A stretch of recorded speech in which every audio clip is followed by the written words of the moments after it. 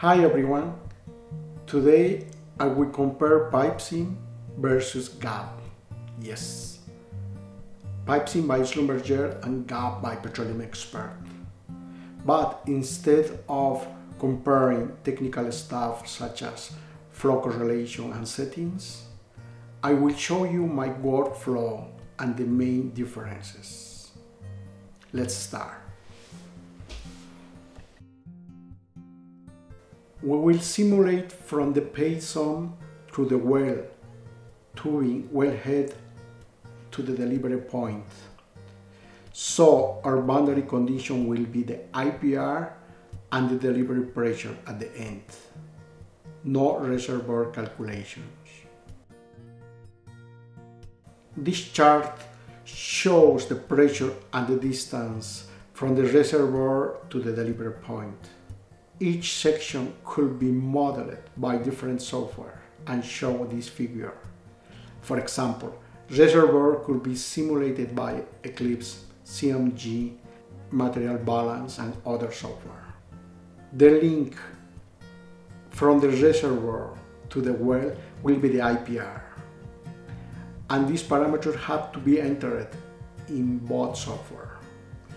The IPR could be generated by Eclipse harmony, test, and other. But it will not cover it in this video. We will only compare steady-state features because for transient and multi-phase simulation, Olga and LedaFlow are the leaders. For both software, fluid properties have to be characterized and entered. Personally, I use HYSYS to saturate and recombine fluids to have the PVT fluid properties. Both are flow simulator with similar flow correlations. Therefore, flow assurance like Hydrate, slug, liquid hold up and others will not cover. Pipe PipeSim is kind of accurate and if we enter the right data, the pressure error could be less than 5%. Since both software have similar flow correlation, we assume both have similar accuracy. In GAP to model from the zone to the surface, first we have to link the material balance file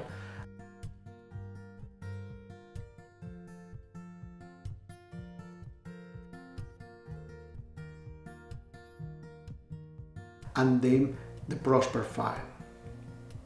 This file contains the IPR.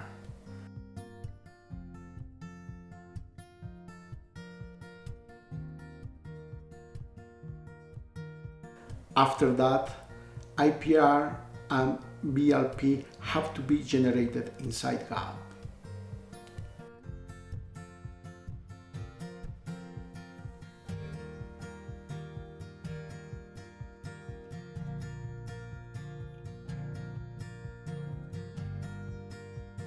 Then we have to enter the elevation profile by segment. That could be a very time consuming task, especially if we have a complex network.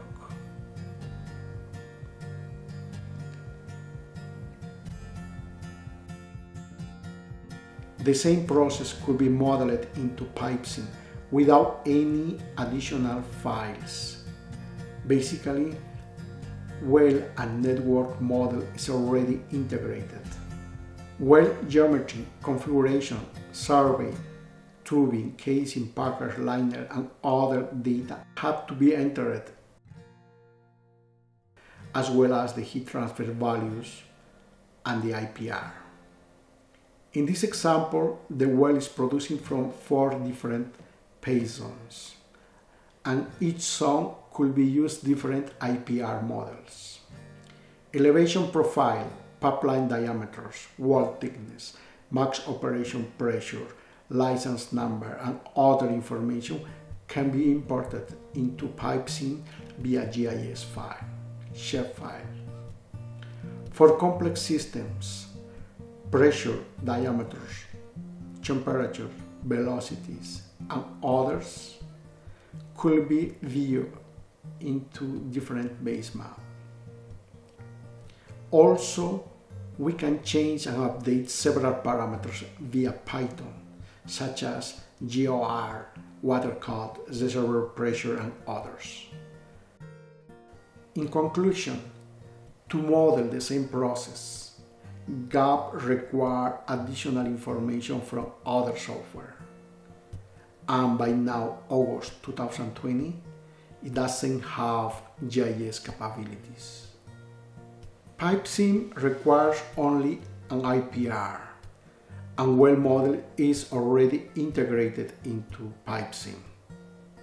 Plus, Excel and Python interface makes PipeSim one of the best software to model complex multi-phase networks in steady state. Please let me know your comments.